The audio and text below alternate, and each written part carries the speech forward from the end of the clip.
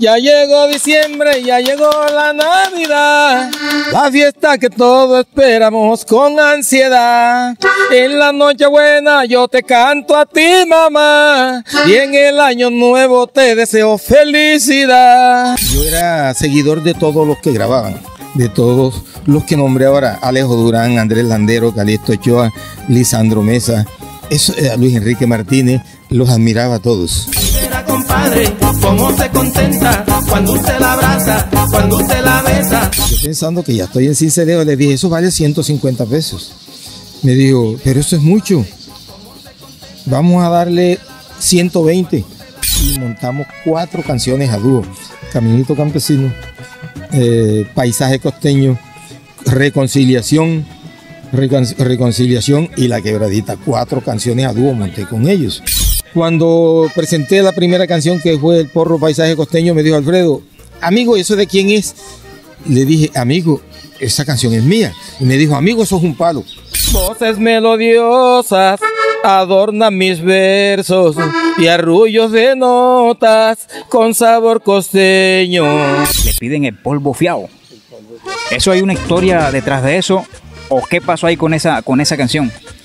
Lo que pasó es lo siguiente, había una muchacha, yo no sabía que era un error en ese momento grabarle a otra casa porque Sonoluz me está pagando todo. Me había dicho cuando yo fui allá también a mostrarme, me había dicho, aquí no se le recibe demostración a ningún costeño. Saludo para todos, en este video vamos a recordar anécdotas muy interesantes con un compositor, acordeonero y cantante. Estoy hablando de uno de los grandes de acá, nació en el Carmen de Bolívar, pero Cincelejo lo adoptó desde hace muchos años. El maestro Gilberto Torres, compositor de Paisaje Costeño, La Quebradita, Caminito Campesino, El Chucuzucu, esta canción es de Calixto Ochoa, que en paz descanse, y Gilberto Torres la convirtió en un éxito nacional y fuera del país. En fin, muchas canciones que con ellas nos ha regalado alegría a través de los años y una anécdota que nos estará contando aquí completica cuando firmó contrato con Sonoluz y Discos Victoria a la vez, algo que no se podía, pero el maestro aquí nos cuenta qué fue lo que pasó y a raíz de eso se tejieron éxitos de lado y lado el rey del paseadito, el cantor de las navidades, el gran Gilberto Torres. Maestro, bienvenido a Checho Día y para mí es un placer tenerlo aquí y saludo para toda su gente. Gracias por, eh, por, esta invitación a su programa y me agrada mucho porque me da la oportunidad de saludar a mucha gente, a la gente que me admira, a la gente que me siga. Eso me agrada bastante.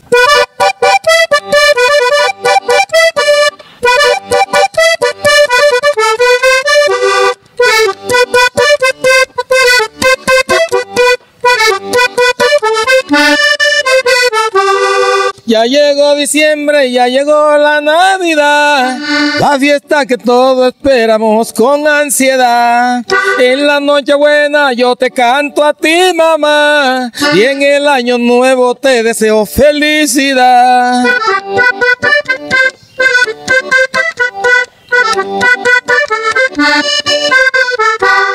del Carmen de Bolívar, pero lo acogió sin celejo, lo adoptó desde hace muchos años. ¿Cómo es esa historia de un gran maestro que se enamora del acordeón y empieza a regalar alegría con el transcurrir de los años a todo un público que, que ha conquistado por mucho tiempo? Le cuento que yo empecé, empecé bastante entusiasmado y con ganas de crecer musicalmente. Yo empecé a tocar acordeón y hacer canciones y a ser cantante, yo decía, como en esa época los acordeonistas conocidos todos eran cantantes, eh, Lisandro Mesa, eh, Andrés Landero, Alejandro Durán, Luis Enrique Martínez, Calixto Ochoa, todos eran acordeonistas, compositores y cantantes. Yo siempre me dije, tengo que ser como ellos. Yo siempre dije, tengo que ser como ellos. Y, y por supuesto, yo empecé a hacer canciones antes de empezar a tocar acordeón. Calixto Ochoa nos comentaba fuera de cámaras que, que fue también obviamente una persona importante, influyente en su carrera musical.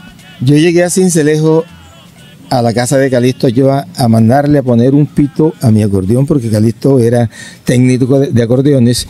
Era un viernes, yo tenía que tocar un cumpleaños en Caracolís Grande Bolívar el viernes, ese, ese viernes. Y el sábado tocaba un matrimonio en la loma del banco. Tenía el domingo desocupado un señor que tenía una fábrica de dulces en la Narcisa, en la calle de la Narcisa, aquí en Cincelejo, vino a buscar a Calixto Ochoa para que le tocara el domingo. Pero Calixto Ochoa tenía tres bailes con los corraleros de Majahuel en la feria del algodón en Cereté. Y le dijo, no, yo no puedo, yo estoy ocupado, pero mira, este, este, este pelado le dije, este pelado toca bien, arréglate con él. El señor me miró y, le dijo, Calixto, yo este muchacho no lo conozco, pero si tú me lo recomiendas debe ser bueno. Entonces Calixto le, respondió, es que no solamente te lo recomiendo, arréglate con él y yo te respondo. Así le, le, contestó Calixto. Entonces me arreglé con el señor. Yo tocaba los bailes en Bolívar de 6 de la tarde a 6 de la mañana por 60 pesos. Porque habían cuatro acordeonistas más conocidos que los tocaban a 50. Y yo empecé cobrando 60 porque yo tocaba todo lo que, lo que sonaba nuevo, lo que estaba sonando. Un disco salía ayer y yo hoy me, las, lo sabía ya. Entonces yo tocaba todo lo del momento y por eso yo cobré 60, mil, 60 pesos el primer baile y me los pagaron y me siguieron pagando 60 pesos. Entonces el señor me dijo, ¿cuánto me va a cobrar de 9 de la mañana a 5 de la tarde? Yo pensando que ya estoy en Cincelejo, le dije, eso vale 150 pesos. Me dijo, pero eso es mucho. Vamos a darle 120 de 9 de la mañana a 5 de la tarde. ¿Qué les comentó? Entonces yo le dije, no, bueno, vamos a hacer una cosa, deme 140. Y yo le dije, entonces él me dijo, dividamos, le doy 130. Y, así fue. y le dije, listo, el contrato, un choque de mano, palabra de gallero. Ese fue el contrato. Ya llegó diciembre, ya llegó la Navidad, la fiesta que todos esperamos con ansiedad. En la noche buena yo te canto a ti, mamá, y en el año nuevo te deseo felicidad. La primera casa disquera suya fue Sonolux. Sonolux. Como profesional, fue muy difícil dar ese paso para entrar a las grandes ligas de, la, de las grabaciones. El deseo mío de grabar era enorme pero las oportunidades eran difíciles porque no existían grabadoras como las que existen ahora de, mano para uno hacer los arreglos y guardar y llevar un cassette o un CD a mostrar, no, eso no existía. Entonces yo fui a Barranquilla que ahí estaba don Diego Jaramillo, había un estudio de Sonoluz, fui a Barranquilla y el día que yo fui lo estaban cerrando porque ya habían terminado eso en Barranquilla. Entonces él me dijo, no, yo voy a estar en Medellín y, me dio una tarjeta y me dijo, me dio una fecha, vaya el 15 de marzo a Medellín y yo lo atiendo. Acá en Barranquilla no me atendió, no me dijo nada, nomás que hablamos eso. Yo fui, llegué el 15 de marzo a, a Medellín y hablé con don Diego, pero yo no llevé ni acordeón ni nada porque me, me, metieron la idea en la cabeza que no fuera con acordeón a Medellín porque me mataban para robarme. Entonces yo me puse a cantarle las canciones a don Diego. Don Diego se quedaba mirándome fijo y yo cantando las canciones y, tarareándole los arreglos. Entonces él de pronto me dijo, muchacho, te voy a ayudar porque te veo mucho deseo de superación, yo te voy a ayudar. Toma esta tarjeta y el, y el 15 de abril yo tengo que ir a Cincelejo a, seleccionarle un material a Alfredo Gutiérrez y Alejandro Durán. Entonces ese día yo te escucho a ti también allá. Y espero verte a las 8 de la mañana en el almacén La Múcura que está frente al parque. El total es que yo a, las 7 y media estaba frente al parque esperando a don Diego. Lo vi, vi cuando llegó una camioneta cabinada que decía Disco Sonolus, a las 8 de la mañana llegó y enseguida yo me bajé del muro donde estaba y crucé la calle y llegué, don Diego, ¿cómo está? Y me dijo, muchacho, ya tú estás por aquí. Y le dije, don Diego, usted me dijo que hoy 15 de abril a las 8 de la mañana yo debía estar aquí y yo estoy, yo estoy aquí esperándolo. Entonces él me dio un abrazo y me dijo, me gusta tratar con la gente como tú. A las 2 de la tarde te vas a la casa de Alfredo Gutiérrez allá va a estar Alejo Durán y Alfredo Gutiérrez. Después que ya los atienda a ellos, entonces te atiendo a ti. Yo le dije a, los compañeros míos, los invité a ensayar y no me quisieron acompañar porque eran, eran mayores que yo. Entonces me dijeron, ¿tú qué vas a ensayar? ¿Tú qué vas a grabar? Tú, tú, no tienes, tú no tienes música, tú no tienes nada. Porque como yo no cantaba mis canciones en ninguna parte con ellos. No creían en el maestro. No creían, no creían. Entonces, bueno, yo me, él me dijo que a las 2 de la tarde, a la 1 yo estaba en de Alfredo. Pero como yo tenía unos temas a dúo como son Caminito Campesino, eh, Paisaje Costeño, La Quebradita, entonces yo hablé con el, con el Johnny, con los coristas Alfredo, el Chamorro y el Johnny era el otro, ¿verdad? Bueno, entonces de una vez dijo, claro que sí. Me dijo, me dijo Chamorro, ya enseguida cogió y, fue escribiendo las letras y montamos cuatro canciones a dúo. Caminito Campesino, eh, Paisaje Costeño, Reconciliación, Reconciliación y La Quebradita. Cuatro canciones a dúo monté con ellos. Cuando presenté la primera canción que fue El Porro Paisaje Costeño, me dijo Alfredo, amigo, ¿eso de quién es? Le dije, amigo, esa canción es mía. Y me dijo, amigo, eso es un palo. Y cuando presenté el Caminero Campesino, me dijo, amigo, ¿y esa de quién es? Le dije, mía, amigo. Yo no tengo nada ajeno, le dije, yo no tengo nada ajeno, todo lo que voy a presentar aquí es mío. Y me, y me, dijo, no, usted está bien, usted va para Sonoluz. Esta fue la primera canción que yo le mostré a don Diego Jaramillo y fue mi primer éxito, Paisaje Costeño. En el disco está a dos, pero lo voy a hacer acá yo solo.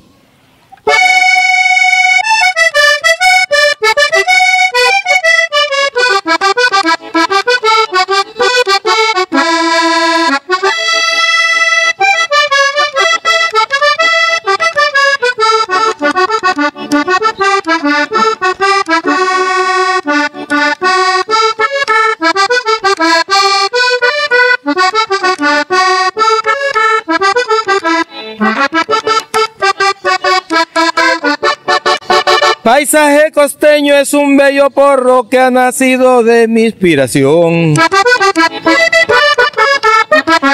Con ritmo festivo vibran las notas emocionantes de mi acordeón.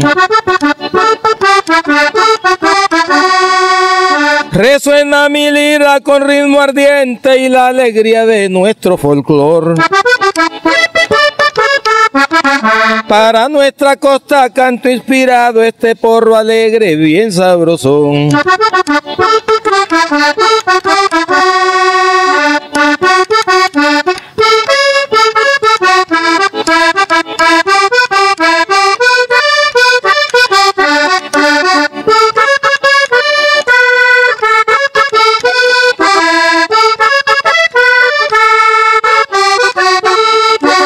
Voces melodiosas adornan mis versos y arrullos de notas con sabor costeño. Voces melodiosas adornan mis versos y arrullos de notas con sabor costeño. Paisaje costeño de los primeros éxitos que graba el maestro Gilberto Torres para Sonolú. ¿Ya cuántos años, cuántos años de carrera artística, maestro? Tengo 54 años de carrera grabando. Grabando. Porque empecé a grabar de, 20, de 29 años, pero empecé a tocar de edad de 15 años. O sea, 14 años después de haber iniciado en, en el acordeón empecé a grabar. El problema con mi amiga ya me tiene demandado. Me dañó la hoja de vida por ese polvito fiao. Le piden el polvo fiao. Eso hay una historia detrás de eso ¿O qué pasó ahí con esa, con esa canción? Lo que pasó es lo siguiente, había una muchacha que le vendía cosméticos a mi esposa y a mi hija. Y llegó a, a venderles unos cosméticos, entonces ella me miró a mí y me dijo, bueno, y usted nunca me ha comprado nada, ¿cuándo me va a comprar? Tiene que comprarme algo hoy. Entonces, cuando ella me dijo así, a mí se me vino a la mente eh, un pote de polvo y se me vino a la mente de hacer una canción. Entonces yo le dije, lo que pasa es que no tengo plata hoy. Me dijo, no, yo a usted le dejo lo que necesite. Le dije, entonces dame un pote de polvo. Pues". Y de ahí sale la canción. y de ahí sale la canción. Pero ella se enteró alguna vez que le hicieron el polvo viado. Claro, entonces cuando ella se va, yo me estaba riendo y le dije a la mujer mía y a la hija mía, esta mujer me dejó una canción me dice ella, ¿cómo que te dejó una canción? Esta es una canción, esto que ella me dejó es una canción, pero ellas no sabían qué estaba pensando yo. Cuando hice la canción fue que les mostré qué fue lo que me dejó la mujer. Musicalmente es mi referente, además de mi referente, mi maestro y un orgullo, más que todo por, por aún eh, tenerlo vivo y no solamente yo, sino todavía con su pulsación como siempre se la ha escuchado y su, su forma de cantar y lleno de vida y esperando que Dios permita que, que, no, que nos acompañe mucho tiempo más. Y en esa producción musical que hizo con Sonoluz, Caminito Campesino, que es otro de los grandes éxitos que, que ha grabado, al mes se convierte en éxito. O sea que el maestro Gilberto venía con toda. Tengo que contarles algo sobre eso. Resulta que, que como a mí me selecciona don Diego 12 canciones para grabarlas yo pero los compañeros comienzan entonces a, rogarme a mí para que les dé también oportunidad y ellos, y yo los llevo y le hablo a don Diego y convenzo a don Diego que el grupo es por el nombre del grupo Juventud Majagualera. Convenzo a don Diego, entonces vamos y le hace cuatro temas a Hugo Rivera y cuatro temas a Elías Ochoa y cuatro a mí. Como a mí me, yo tenía 12 canciones seleccionadas y grabo cuatro, entonces yo no sabía que era un error en ese momento grabarle a otra casa porque Sonoluz me está pagando todo. Pasaje en avión, eh, eh, bajado en el Hotel Nutibara, que era lo máximo que tenía Medellín en esa época. Entonces, a las, eh, empezamos a grabar el lunes a las 6 de la tarde porque había una orquesta en la mañana de 8 a 12 y otra orquesta de 12 de 2 a 6 y nosotros entrábamos a las 6. Entonces eh, habíamos grabado dos temas el lunes y dos temas el martes. El miércoles a las 7 de la mañana se me presenta don Otoniel Cardona, el dueño de Disco Victoria, que me había dicho cuando yo fui allá también a mostrarme, me había dicho, aquí no se le recibe demostración a ningún costeño. Me dijo así, pero con, con chocantería. Entonces, cuando el, camarero me va, la, la, camarera me va a buscar y me dice, ahí lo busca don Otoniel Cardona, el dueño de Disco Victoria. Yo dije, epa, este fue el que me dijo que no le reciba ningún costeño, me va a dar desquite hoy. Entonces yo bajé corriendo y llegué y lo saludé por su nombre. Le dije, don Otto, ¿cómo está, don Otto? Bienvenido. Y me dijo, hombre, Gilberto, vea que por ahí me di cuenta que están grabando en Sonolú unas cositas muy buenas, pero también analicé que están grabando de noche, tienen el día desocupado. Entonces yo quiero que ustedes ahora a las 8 de la mañana vayan allá a, Disco Victoria y me hagan una demostración para que me graben seis canciones. Yo no les voy a pedir mucho, sino seis canciones. ah, bueno, don Otto. Y fuimos. Porque eso es lo que yo le, acabo de decir, que yo no sabía que iba a cometer un error, porque yo, como estaba dando mis primeros, mis primeros pasos en la música, yo no sabía que, que hacía mal haciendo eso. Entonces, como acá en Sonoluz ya me habían seleccionado las canciones, pero no, no, me, había metido Caminito Campesino. Entonces allá llegamos y el primero que se presenta es Hugo Rivera, presenta seis canciones y en ese entonces había director artístico. Le, seleccionaron tres. Se quita el acordeón y se lo entrega Eliezer. Y Eliezer presenta cinco y le seleccionan dos. Entonces me quedó un cupo para uno. Entonces llegué yo y presenté Caminito Campesino. Cuando yo presento Caminito Campesino, el el director artístico me dije, ¿y por qué no presentó usted primero? Le dije, no, porque me tocó último. Le dije, me tocó último. Se enamoró de la canción. Claro. Y entonces, bueno, grabé Caminito Campesino y fue la única canción que sonó de lo que se hizo en Disco Victoria. O sea que ya tenía éxito en dos disqueras prácticamente. Y eso por eso, por ese error, yo no continué en Sonoluz. Porque eh, eh, el disco de Sonoluz sale el primero de octubre y el 2 de, noviembre Sonoluz Victoria saca Caminito Campesino y comienzan a competir los promotores. Cuando eh, ese entonces, eran promotores que eran los que vendían en los almacenes y visitaban a las emisoras y todo. Entonces comienzan a competir con la misma música mía, el uno con Victoria, el otro con Sonoluz. Y a Sonoluz le molestó mucho eso y no me, no me llamaron más. 1969. 1969. Recordemos aquí Caminito Campesino. Sí, señor.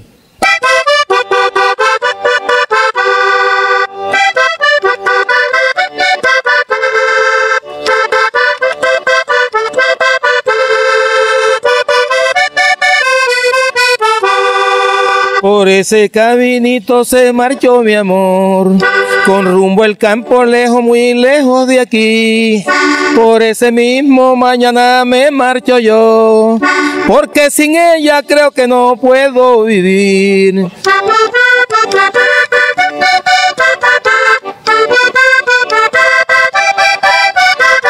Por ese caminito mi amorcito se fue y yo quedé solito llorando su querer. Por ese caminito mi amorcito se fue y yo quedé solito llorando su querer. Caminito del campo, camino campesino, llévame tú que sabes dónde está mi cariño.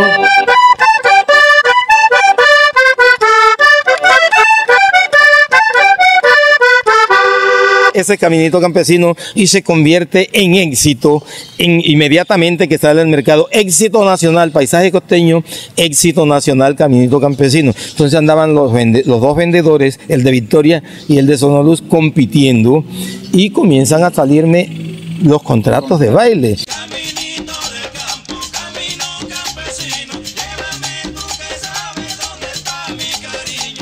Cuando el músico tiene la oportunidad de, depender o nacer o venir de una dinastía, eh, es un orgullo y un distintivo muy grande y que pocos lo tienen. Eh, heredar la vena artística de, de, alguien, en este caso de mi padre, que es bastante reconocido y que me ha abierto las puertas en muchas partes gracias a su reconocimiento eh, muchos no me dicen William, me dicen el hijo de Gilberto. Eh, entonces es un motivo de orgullo y es muy valioso, muy valioso como les dije antes, eh, cuando hay la cabeza de una dinastía, uno viene de esa dinastía y mucho más aún cuando también ya uno vota algo para una tercera, una cuarta generación en esa dinastía. Entonces es muy valioso, es muy valioso tener un referente en la familia, lo cual hoy se llama dinastía. Y comenzó a competir, comenzaron a competir las, tres casas disqueras y con tres canciones mías a dúo todas tres. Entonces acá grabo La Quebradita.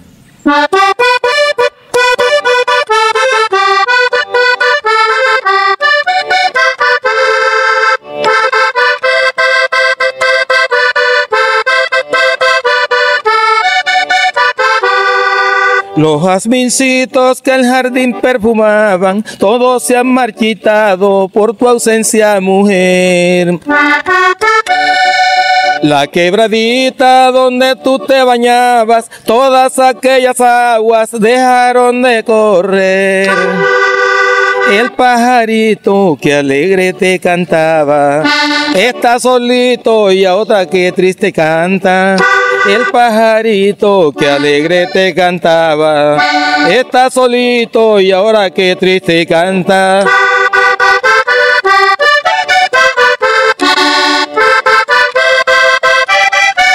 Regresa pronto que te vivo esperando, como espera el niño en diciembre su aguinaldo. Madrecita linda, eres tú mi adoración, por eso mi vieja te dedico esta canción. También a mi novia yo le canto en Navidad y en el año nuevo les deseo felicidad. Cuando llega diciembre recordamos al maestro Gilberto Torres porque se identifica con la Navidad.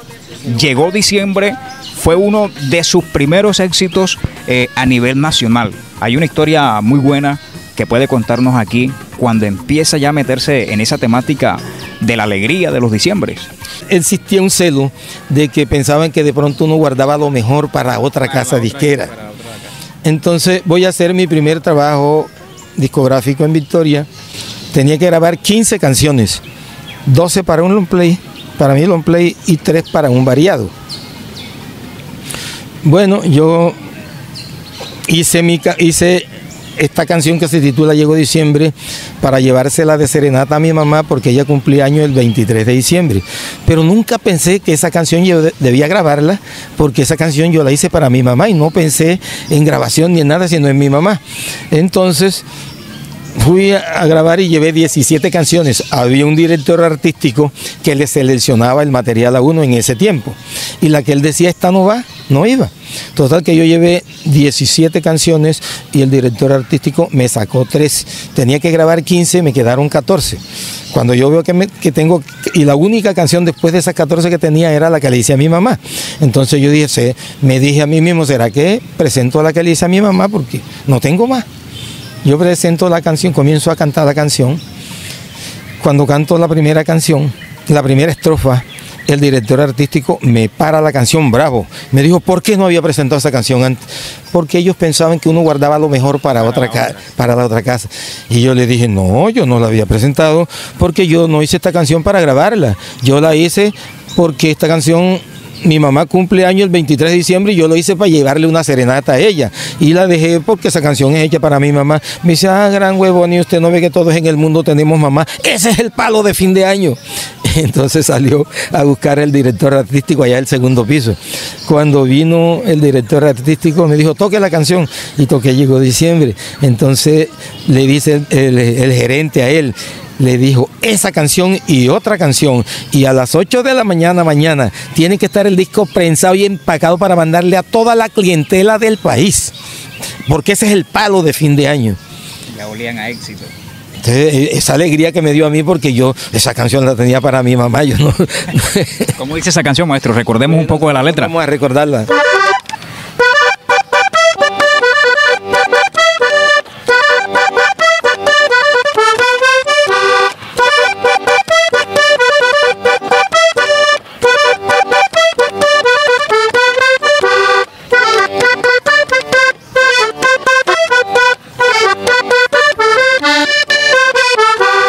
Ya llegó diciembre, ya llegó la Navidad, la fiesta que todos esperamos con ansiedad.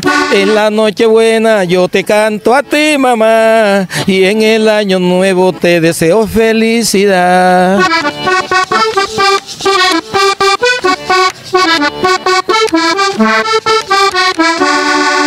En Navidad, en Navidad y en el año nuevo te deseo felicidad. En Navidad, en Navidad y en el año nuevo te deseo felicidad. Eh, Dios me dio la oportunidad de, ir a, a, algunos compromisos y voy a estar en otros donde, donde quieren la música de Gilberto Torres, especialmente por los temas navideños. Y ya yo he ido a representar a mi papá tocando solamente su música, tocándola, cantándola y más exclusivamente los temas de Navidad. Los años, la disposición de muchos músicos, la, la que no hay el acompañamiento de los entes gubernamentales, de los entes culturales, que no se preocupan por mantener la identidad de nuestra región con los ritmos como el paseadito, la cumbia, el porro y otros ritmos tan ricos que tenemos. Entonces hay falta de, presencia, falta de sentido de pertenencia por los ritmos que identifican nuestro folclore sabanero. Hasta el día de hoy he grabado 18 canciones navideñas, porque esto se, se, se mezcló de esta manera o se puso de esta manera. Yo llegaba tenía que grabar, eran dos long play al año. Cuando iba a grabar el segundo long play era a mediados de septiembre o a principios de octubre. Entonces, desde que llegaba agosto me mandaban un expreso a mi casa a decirme, la canción navideña si no la ha hecho, hágala y si no, no se presente acá a grabar.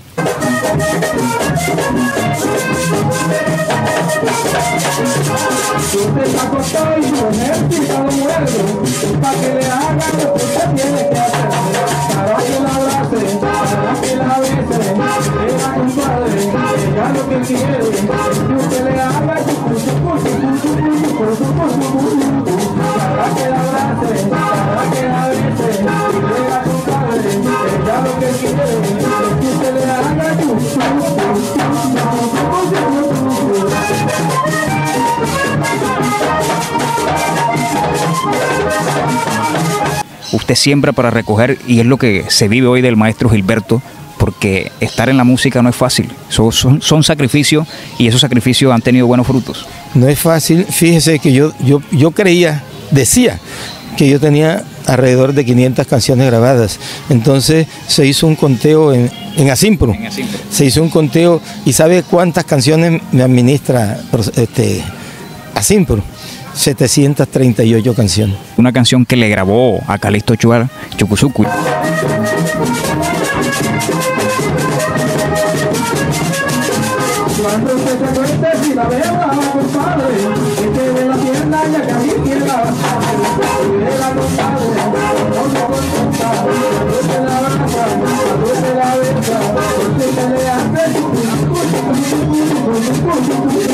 Cuando llegué a Cincelejo, llegué a vivir a la casa de Calixto Ochoa. Calixto Ochoa se portó conmigo como si hubiese sido mi papá y yo me porté con él como si hubiese sido su hijo. Entonces, fíjese que Calixto tuvo la confianza y me dio la oportunidad de ir a, a suplir contratos que había firmado él. Una vez se enfermó porque él tuvo un, un tiempo problema de la garganta y los contratos que tenía los tuve que, que realizar yo.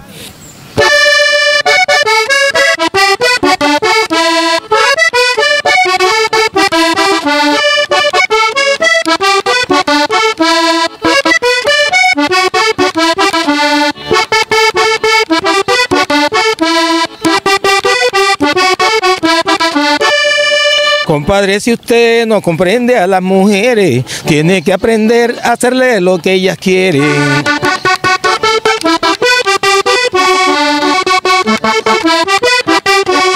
Si usted está acostado y su mujercita lo muerde, es para que le haga lo que usted tiene que hacerle, para que la abrace, para que la bese y verá, compadre, ella lo que quiere es que usted le haga chucuzucu, chucuzucu, chucuzucu, chucuzucu.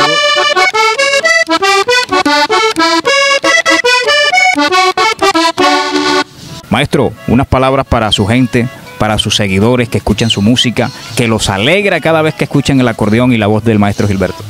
Bueno, decirles a todos que lo hago con mucho cariño porque sé que es para ustedes, todos los oyentes que escuchen este programa, se van a deleitar con mis canciones, mis canciones y eso para mí es satisfactorio, por eso procuro de hacer las cosas, mandarle las cosas bien y eso me llena a mí de alegría y de mucho placer. El maestro Gilberto Torres en Checho Díaz Vallenato, recordando su historial musical aquí para todos ustedes. Nos vemos en una próxima con más historias. Un fuerte abrazo. Ay, de Montería para arriba viajaba yo. Iba directo para San Juan de Urabá.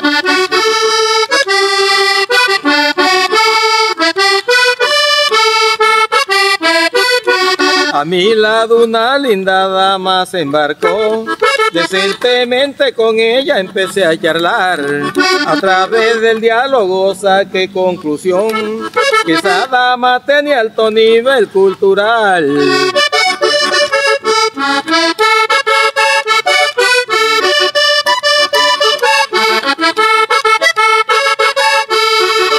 Y le empecé a preguntar ella era profesora. Y le empecé a preguntar si ella era profesora. Me dijo yo soy doctora y estoy pagando el año rural.